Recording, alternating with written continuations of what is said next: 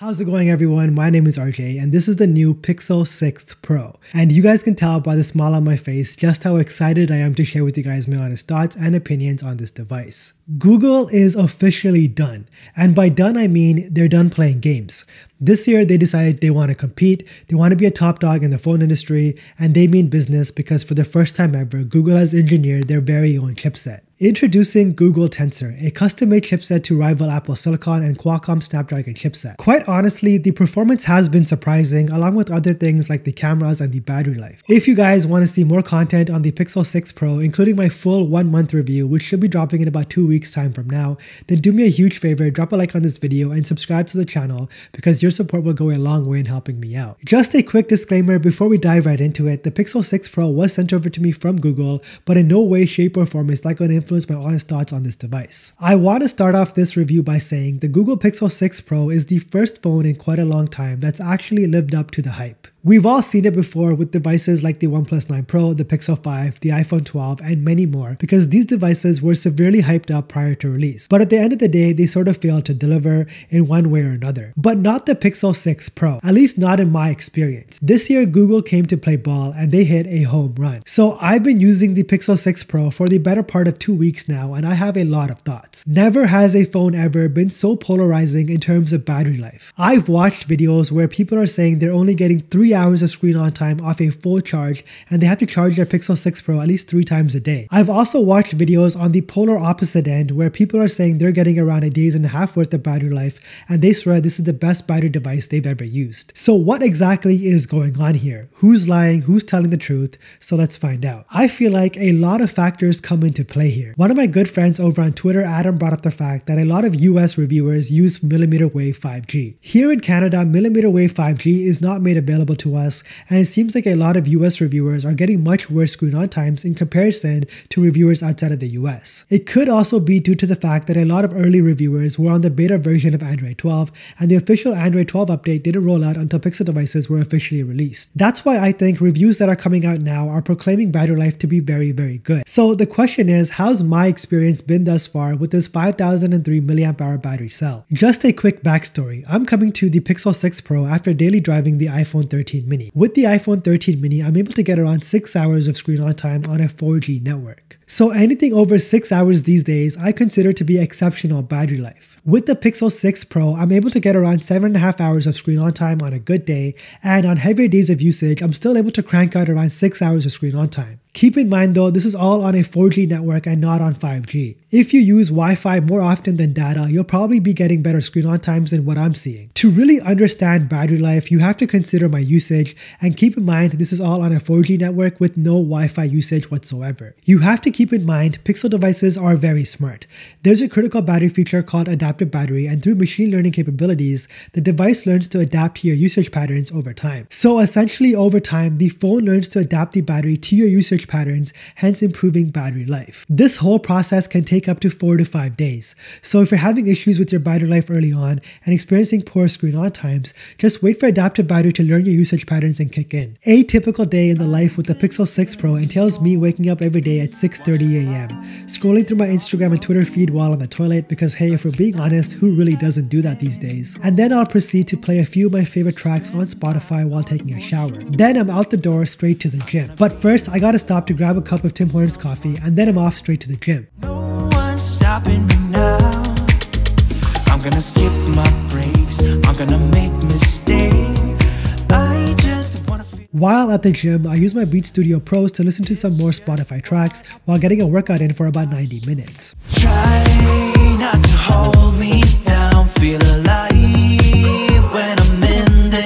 At around 9 a.m., I head over to the local coffee shop and get started on replying to a ton of business emails, which usually takes me around an hour. But with Google's new and improved voice dictation, replying to emails with my voice is a breeze, much faster than typing. I find myself saving about 15 minutes using the Pixel's voice dictation, and the thing is, voice dictation is so accurate. Doesn't matter if you're not properly enunciating or even slurring your speech. That's how good the improvement has been, just incredible stuff on Google's part. So after a tedious 45 minutes of replying to emails, emails. I'm off to work at the university.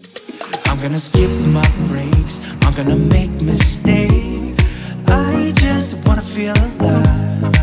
And while I'm at work, I'm usually not on my phone too much except when I'm on break. I do reply to a few WhatsApp group combos here and there, but for the most part, that's pretty much it. While on break, however, I'll watch a few YouTube videos from some of my favorite creators, catch up on reading my latest book on Kindle, and once break is over, I'm back to work once again. After work, the Pixel 6 Pro will usually be sitting around 45 to 55% battery health depending on the day. More than enough to complete the rest of my day without any battery anxiety. Call me crazy, but I'm super focused on losing weight and getting back into pre-pandemic shape, so naturally I head back to the gym once again for another workout. While at the gym, I'll listen to a few of my favorite podcasts while getting in some much needed cardio, and after crushing my second workout of the day, I head on home for a well-deserved post-workout meal. Usually while I'm eating, I'll casually scroll through TikTok, and then after dinner, I'll play a few games of League of Legends Wild Rift with some of my closest friends. Surprisingly, the new Google chipset handles gaming really well, but more on Tensor's performance a bit later in the video. Around 9.30 p.m., the Pixel 6 Pro will be sitting at around 20%. More than enough battery life to cozy up in bed and watch a few more YouTube videos, troll the group chat, and then I'll call it a night by plugging in the 6 Pro to its charger to repeat the same and same process once again the next day. Now, what I just showed you guys was just my typical day in the life breakdown on the Pixel 6 Pro. Of course, some days I use the device more heavier, and there are other days where I won't use the phone as much. But nonetheless, battery life should not be a concern on the Pixel 6 Pro. If you were holding out on purchasing the Pixel 6 Pro due to poor battery life, I'm here to assure you guys you'll be more than satisfied with the screen on times. Quite honestly, it exceeded my battery expectations and I'm sure it will exceed yours as well. Google, following the trend, decided to not include a charging brick inside the box this year. Quite unfortunate, I know, but it is what it is. The Google Pixel 6 Pro can fast charge at a speed of 30 watts. Not necessarily OnePlus or Xiaomi fast, but fast enough for me nonetheless. The Pixel 6 Pro does come with reverse wireless charging, perfect for topping up a pair of wireless earbuds while getting some work done in a local cafe, but not something I would rely on too often because the charging speeds for reverse wireless charging are just far too slow.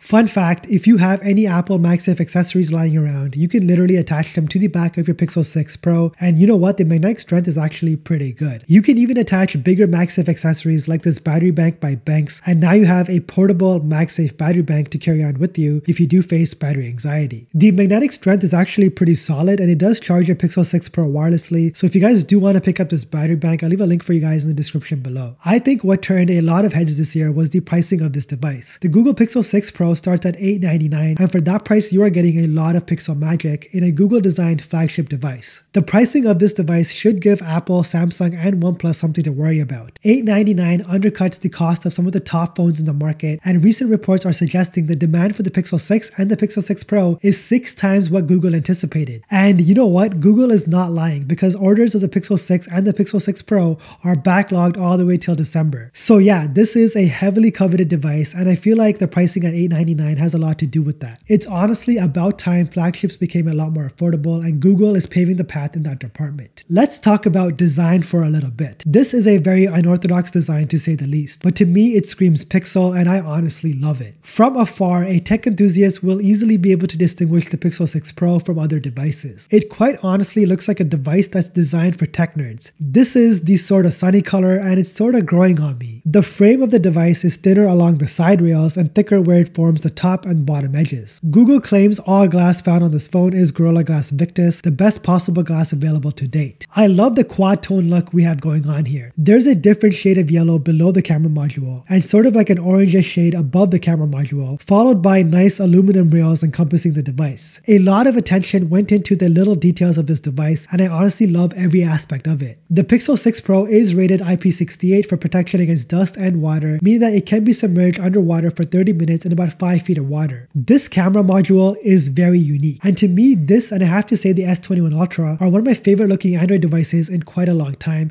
so Google nailed the design. Something I'm not too fond of is the button layout. The power button and the volume markers are both found on the right side of the device, and if you're coming to the 6 Pro from an iPhone, you'll find the button placement very awkward at first. It does take a tad bit to get used to, but once you get that muscle memory down, you'll be quite alright. Other than that though, I have to say I have no real complaints when it comes to the design. It's a solid, well-built device that actually feels like a premium flagship in your hands. Not to mention the Pixel 6 Pro is easier to handle compared to other big devices and it doesn't feel heavy in the hands despite housing a massive 5003 mAh battery. The Pixel 6 Pro comes in at 210 grams, which is approximately 13% lighter than the iPhone 13 Pro Max. But definitely do pick up a case for the Pixel 6 Pro because this is one slippery phone. I highly recommend a case. I'll link a few good ones I recommend in the description below. The Pixel 6 Pro is equipped with a 6.7 inch OLED panel coming in at 1440p. This is a 120Hz refresh rate display, the colors are accurate, the display is vivid and bright, and I love the way Android 12 looks on this device. Outdoor visibility is solid and Google offers three different color profiles for the display. You can choose to go with a natural look for your display, or you can boost the contrast and the saturation of your display, or you can even choose to go with an adaptive color profile, which means you'll always get a nice clean white look to your display no matter what lighting conditions you're in. And so far it's done a terrific job of adapting the display to various lighting conditions. The adaptive 120Hz refresh rate on this display is excellent. I haven't experienced any janky or stuttery behavior, it's smooth scrolling all throughout. Even social media apps like Twitter and Instagram are a pleasure to scroll through. We do have a centered hole punch cutout for the selfie camera, and the display is ever so slightly curved on the sides, but it doesn't get in the way of anything like other curved displays I've used in the past. This year, Google opted to go with an in-display fingerprint scanner as opposed to a physical fingerprint reader on the back. My personal preference has always been a rear fingerprint reader, but this is a flagship and Google wanted to play the part. I have had no issues with this fingerprint reader. I find it to be fast and reliable. It works flawlessly for me every time I need to unlock my device, and it even works when my fingers are wet. Keep in mind though, your experience may differ if you do choose to use a screen protector on your device. There were a lot of reports coming out that the fingerprint sensor on the 6 Pro was slow and inaccurate, especially when using a screen protector, but there is a solution to this that was brought to light by Zach Talk Text over on Twitter. If you go into settings and then display and scroll all the way down, you'll notice a toggle that allows you to increase touch sensitivity when using a screen protector. Once you toggle this option on, you'll experience a much better fingerprint sensor that works rather well about 90% of the time. So a major shout out to Zach for bringing this to light. Surprisingly, the dual stereo speakers on the Pixel 6 Pro are legit, almost comparable to the speakers found on the iPhone 13 Pro. The bi-directional sound is formed when the earpiece and the downward firing speakers are working together and they sound really good. The speakers I find get nice and loud and they are also clear throughout the volume range. I was able to fill a mid-sized room like the one I'm in right now with plenty of sound without any crackling and distortion of any sort. Here is a speaker comparison for you guys alongside the iPhone 13 Pro. Tell me which one you guys think sounds better at max volume.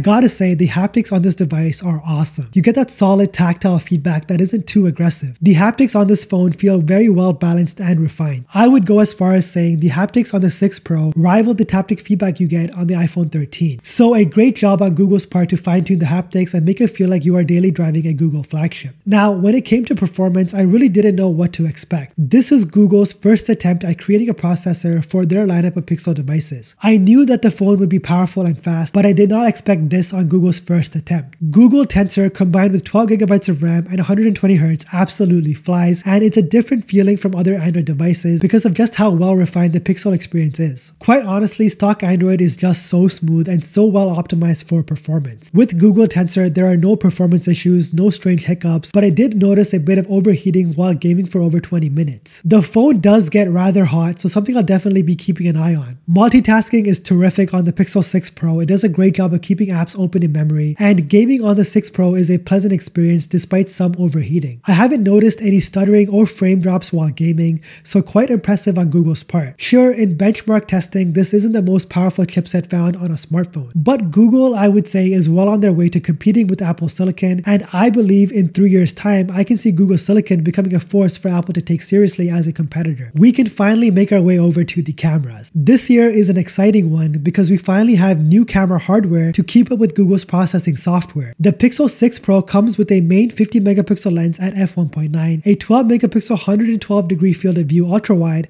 at f2.2, and a 48 megapixel 4x telephoto at f3.5. Remember back when Pixel devices were once the king of smartphone photography? Well, Google is back to reclaim the throne. This primary lens is the best lens I've ever seen on a smartphone to date. The other lenses are not so great. I would even go as far as saying they're pretty subpar, but the main shooter is legit legit. It's the best even when compared to the iPhone 13 Pro. These images still maintain that signature pixel look we've all come to love and expect. The dynamic range is fantastic, the highlights and the shadows are accurate to the T, and the depth of view thanks to the lower aperture and Google's machine learning is flawless. A majority of the time, iPhones are praised for being natural and true to the scene. But in my testing and in this comparison, the Pixel 6 Pro is always more accurate to the scene, with more sharpness and depth to these images than the iPhone 13 Pro. Portraits are amazing on the Pixel 6 Pro. I love the way the bokeh looks in these images. These are portraits captured in an indoor setting with very low light and these pictures look bright, vivid, and very sharp with just the right amount of bokeh blur. I love using this phone to take portraits. It's always going to be in my pocket till something better comes along. I've noticed post-snap processing takes at least 2 or 3 seconds. Now this could be related to the Tensor chipset, but the images the primary sensor is able to capture is always true to the scene. And I prefer images the main camera is able to capture over the iPhone 13 Pro. Now the ultra wide lens is alright. It's not the best in class, the iPhone 13 Pro definitely does it better. There is no autofocus available, the field of view isn't nearly as wide as I would have liked it. You are able to capture some decent images, but sometimes the colors are off from the natural scene and I'm noticing a bit of distortion along the edges. Overall though, I would say the iPhone 13 Pro does it better when it comes to the ultra wide comparison. The 4x telephoto I would say is pretty good. I tend to use the telephoto lens a lot more than an ultra wide angle lens and for the most part these images are decent. It's good enough for most people but sometimes the colors are off compared to the actual images in real life. The sharpness is there in these images and the details are fairly good. On-screen controls allow you to jump from 0.7x to 1x to 2x and 4x. And you can however pinch to digitally zoom all the way up to 20x. These images even at 20x are actually quite usable. And overall I would say for the versatility the telephoto is actually quite impressive. Honestly I'm just glad for the first time ever a Pixel device now comes with a telephoto and an ultra wide. Just having that versatility available to us on a flagship Pixel device is nice to see. If you're wondering about the selfie camera, it's actually quite good. It does a great job of representing darker skin tones compared to other devices. The selfie camera is also able to shoot in 4K at 30 FPS, and this is the kind of quality you can expect. So this is what the selfie camera looks like on the Pixel 6 Pro. We are shooting at 4K 30 FPS right now,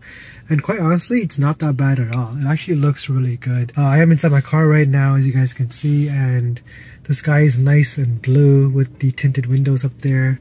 So everything just looks really, really good. Um, I think it captures the light really well. So yeah, overall, I would say the selfie camera on the Pixel 6 Pro shooting at 4K 30 FPS is rather good. When it comes to low light and nighttime photography, the Pixel 6 Pro once again is the best in class. Google's AI does a great job of processing the scene, doing its best to maintain the detail, the highlights, and the shadows once again. In all of these night photos, the Pixel 6 Pro in my opinion takes the better shot and does a better job of processing the scene in comparison to the iPhone 13 Pro. I had high expectations for Google this year when it came to video. I figured with the new camera hardware, video quality would rival that of the iPhone 13 Pro. But in my testing, the video quality isn't all that great. Yes, you can record in 4K, but the autofocus sometimes struggles to keep objects in focus. The OIS is great, probably the best I've ever seen on a smartphone, but the quality of videos is nowhere near the quality you can expect from iPhones. With the iPhone 13 Pro, I can confidently use the footage in my YouTube videos, and very few people will be able to tell coming from a phone. Quite honestly, a lot of work can be done on Google's part to improve in the video department, so I am kind of disappointed. This year we have some new cool camera features like motion photo and magic eraser. Motion photos I would say are kind of a hit or miss. When you're able to nail the shot, you can get a nice image with the background all blurred out with some cool streaks. It's kind of a gimmick that I don't see myself using more than a few times, but it is fun to play around with once in a while. Magic eraser on the other hand is a very useful tool to have at your disposal. Of course all of this can be done better on Photoshop, but just having something as powerful as this on a smartphone is quite impressive. Magic eraser does a surprisingly good job at erasing objects that aren't too big. But for bigger objects I found it doesn't do that great of a job. So you might just be better off using Photoshop on some of these shots. Overall though, I think the Google Pixel 6 Pro has a fantastic camera. It's a camera that slightly edges out the competition in my opinion. Specifically the main camera when it comes to point and shoot. I prefer images coming out of the Pixel 6 Pro's main sensor in comparison to the iPhone 13 Pro and the S21 Ultra. I know that not everyone might agree with me, but I feel like Google did a fantastic job this year considering that they are using a brand new processor which by all means seems to be well optimized for the Pixel 6 and the Pixel 6 Pro, so good job on Google's part. In conclusion, I would say the Pixel 6 Pro is a fantastic buy. It's the Android device I've been waiting for Google to make for quite some time now, and they finally delivered. Pixel devices are unique. They have some cool Pixel only features like screening unwanted calls and now playing to identify a track being played at a local restaurant or a cafe. Android 12 is simple, it's clean, and more importantly, it's super fun to use. There's something called Material You this year, and what it does is it automatically matches icons, widgets, system UI elements, and some apps to your wallpaper. There's no need to customize it yourself, Android 12 does it all for you, so quite cool in that aspect. Also, another fun fact, the script for this entire video was not typed up on a laptop. Instead, I used the Pixel's voice dictation to write out this script entirely, and it took me half the time as I would typing. Voice dictation is flawless and it works so, so well. I want this same Pixel software feature being implemented in apps like Notion and Microsoft Word. Now that would be really cool to see. The Pixel 6 Pro is as close to perfect as it can get. Google has never quite managed to deliver a pure winner with its Pixel lineup. Each iteration suffered some small issue holding it back. With the Pixel 6 Pro, I would say Google has delivered. Sure, Android 12 has some bugs to iron out, but overall though, with three years of software updates, a killer camera, great battery life, flagship feeling design, and fluid Pixel software, I would say the Pixel 6 Pro is one of the best flagships currently available on the market. Especially when you consider its very low price tag, this phone is very hard to beat. That has been it for me guys. As always, thank you so much for watching. If you found this video informative, drop a like on this video and of course subscribe to the channel. And as always, don't forget to flex with your stock Android tech.